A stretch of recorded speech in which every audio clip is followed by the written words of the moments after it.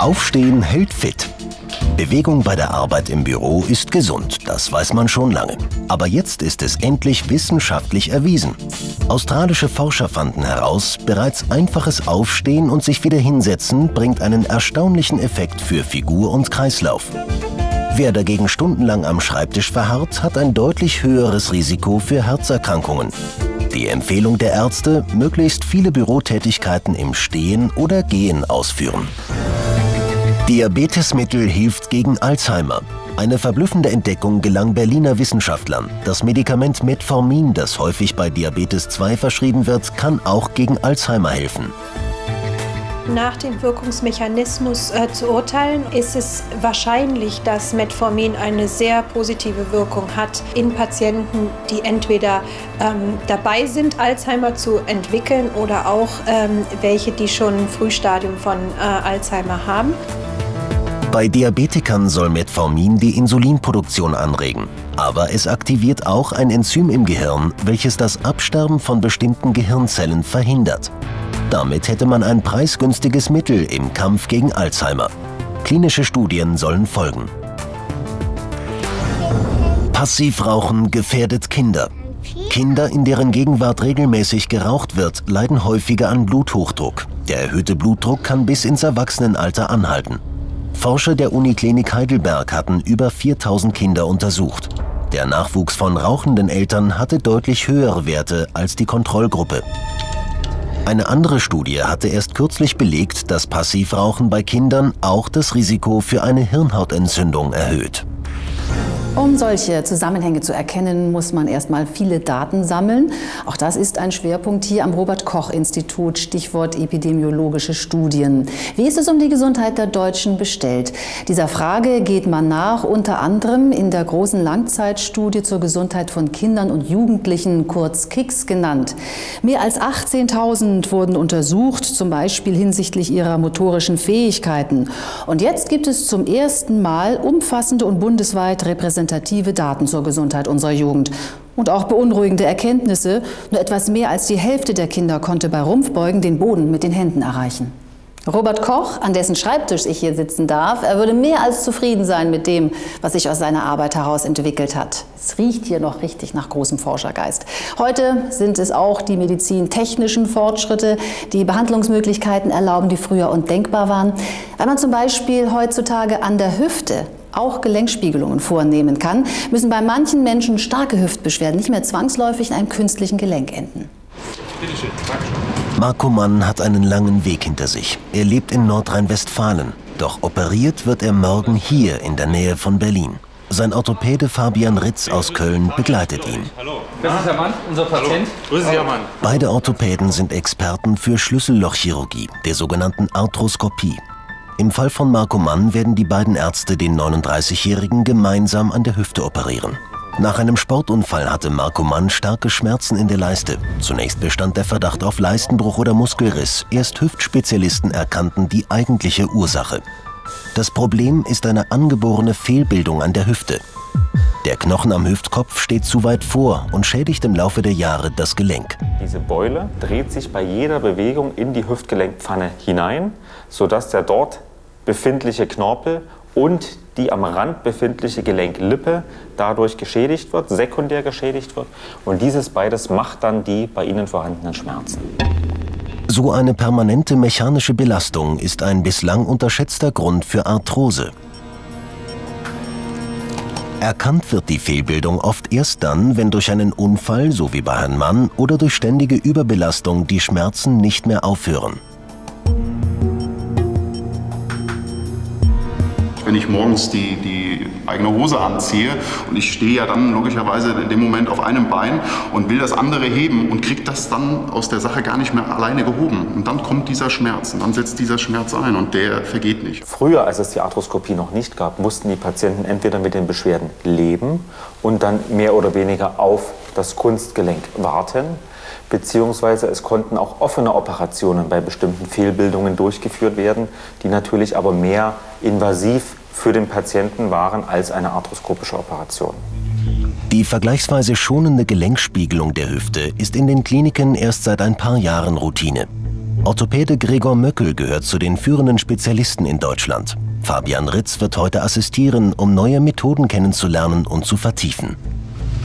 Es ist eine minimalinvasive Operation, die viel Erfahrung und Übung benötigt, denn der Zugang in die Hüfte ist eng. Durch eine hochauflösende Kamera werden die Strukturen im Gelenk auf dem Monitor sichtbar. Erst jetzt können die Ärzte eindeutig feststellen, was genau im Gelenk zu den Schmerzen führt. Marco Mann hatte Glück. Seine Gelenklippe ist nicht gerissen, nur gereizt und der abgelöste Knorpel kann angeklebt werden. Dann beheben die Chirurgen die Fehlbildung. Der überstehende Knochen am Hüftkopf wird entfernt.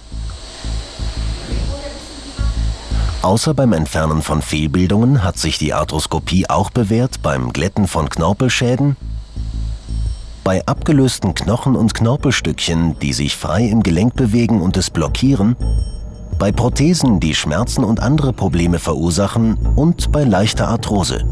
Ist der Verschleiß zu weit fortgeschritten, bringt Arthroskopie nichts mehr. Es gibt zurzeit äh, die Tendenz, dass viel arthroskopiert wird, vielleicht sogar zu viel arthroskopiert wird.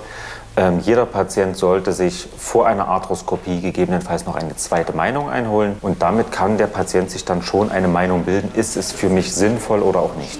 Patient Friedrich Kühl hat sich, so wie Herr Mann, gut beraten lassen, bevor er sich operieren ließ. Nach einem Fahrradsturz hatte er ständig Schmerzen an der Hüfte. Auch bei ihm war das Gelenk durch eine Fehlbildung bereits angegriffen. Beim Sturz riss dann die Gelenklippe. Und hier ist die abgelöste Gelenklippe. Mit einem Tasthäkchen bin ich hier dahinter, hinter der abgelösten. Es erfordert vom Chirurgen viel Geschick und Übung, um eine gerissene Gelenklippe arthroskopisch wieder anzunähen. Diese Technik wird bislang nur in wenigen Kliniken in Deutschland beherrscht. Ein Jahr ist jetzt seit der Operation vergangen. Ja. Äh, spüren Sie jetzt noch irgendwelche Beschwerden, Leistenbereich hinten, gluteal? Keine, keinerlei Beschwerden, Ober- ist kein Vergleich Beschwerden. Ja. Marco Mann kann einen Tag nach der Operation wieder gehen. Vier Wochen wird er allerdings Gehstützen verwenden müssen, um die Belastung langsam zu steigern. Geht alles gut, ist er in sechs Wochen wieder fit. Fit, das ist ein gutes Stichwort. Wie sieht es denn mit Ihrer persönlichen Fitness aus? Ein guter Vorsatz für das nicht mehr ganz so junge Jahr. Allerdings, gute Vorsätze halten oft nicht an. Vielleicht haben Sie einfach noch nicht das Richtige für sich gefunden. Wir wollen Ihnen heute ein paar Trends vorstellen, die sich für Sporteinsteiger eignen und für solche, die Lust haben auf Musik. Also, tanzen Sie sich fit. Mit Aroa und Zumba kann man viel für seine Figur und die Gesundheit tun. Vergessen Sie Aerobic oder Jazzdance. Jetzt machen uns neue exotische Fitnessprogramme Beine. Zum Beispiel Aroa. Ich bin ja der absolute Sportmuffel. Also ich mache gar nichts und das mein Leben lang. Und jetzt habe ich gedacht, so vom Alter musste was anfangen. habe ich so ein Fitness gemacht und das Sportstudio alleine, Muskelkater, hat keinen Spaß gemacht. Und jetzt probiere ich mal was Neues. Aroa soll für Sportneulinge wie Manuela Obermüller ideal sein. Es ist eine Kombination aus Tai Chi und Kung Fu sowie einem Kriegstanz der Maori aus Neuseeland. Stell dich vor, vor euch steht ein Krieger, zwei Meter groß, so breit, Lanz in der Hand, will euch wehtun, wegnehmen, kaputt machen und jetzt nochmal alles, was ihr habt. Oh, Die Choreografie fließt in mäßigem Tempo. Da kommt jeder gut mit. Vor allem Po und Oberschenkel müssen ran, in Kombination mit wechselnder An- und Entspannung der Schulter-, Bauch- und Oberarmmuskulatur. nochmal, nochmal, nochmal. Also es ist wirklich sehr gut, weil durch dieses Konzept und durch dieses Training Anspannung, Entspannung wird die Durchblutung gefördert. Es kommt alles in Schwung. Durch die mittlere Intensität des Trainings wird besonders gut Fett verbrannt. Manuela Obermüller gibt ihr Bestes, um mitzuhalten. Sie ist wie ihre Mitstreiterinnen nach einer Stunde ganz schön aus der Puste.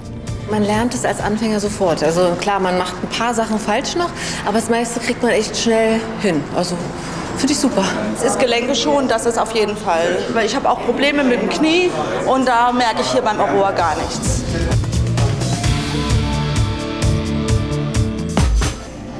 Zumba dagegen ist viel temporeicher. Eine schweißtreibende Mixtur aus Aerobik, lateinamerikanischen Tänzen und sogar Hip-Hop. Hier muss Frau Obermüller die Hüften schwingen lassen. Der Trainer tanzt zwar vor, aber grundsätzlich darf sich jeder nach seinem eigenen Körpergefühl bewegen. Das ist äh, easy move und muss man nicht so eine, wie gesagt, die Schritte kennen oder so eine Tänze sein, muss man das nicht. Einfach Bewegung, weil es geht um diese Gesundheitssport äh, für Kalorien abbauen, Stress abbauen. Zumba ist easy, Zumba ist fun. Doch einige Basisschritte sollte man schon beherrschen. Die Wechsel zwischen schnellen und langsameren Rhythmen sind für Anfänger ungewohnt und nehmen Frau Obermüller ganz schön in Anspruch. Also für mich ein bisschen schwierig, dieses rechts-links Ich kann auch keinen Walzer tanzen. Vielleicht wäre es dann einfacher, dieses 1, 2, 3 hinzukriegen. Ist für mich schwierig. Aber es macht trotzdem Spaß. Ich meine, ich bin hier zum Lernen. Ich bin ja nicht hier, weil ich ein Profi bin, sondern weil ich es können möchte. Zumba verbessert vor allem die Kondition und eignet sich für alle, die Freude an Rhythmus haben. Ja, weil es ein super Tanz ist. Man geht so selten alleine tanzen. Ich in meinem Alter schon gar nicht mehr, weil ich keinen Partner mehr habe. Und das ist für mich ein ganz großer Ersatz. Und das macht super Spaß. In jedem Fall sind die neuen Tanzfitnessprogramme gut geeignet für Ersteinsteiger. Welches am besten zu wem passt, muss jeder selbst ausprobieren. Sportmuffel sind überall willkommen. Viele Krankenkassen erkennen Aroa übrigens inzwischen als Präventionstraining an und zahlen einen Zuschuss zur Kursgebühr. Mehr Informationen und auch Adressen zu unserer Sendung bekommen Sie wie gewohnt per Post oder Sie schauen in den ARD-Text oder ins Internet. Das war der Ratgeber Gesundheit aus Berlin, aus dem Robert Koch Institut. Ihnen noch einen schönen Sonntagnachmittag. Auf Wiedersehen.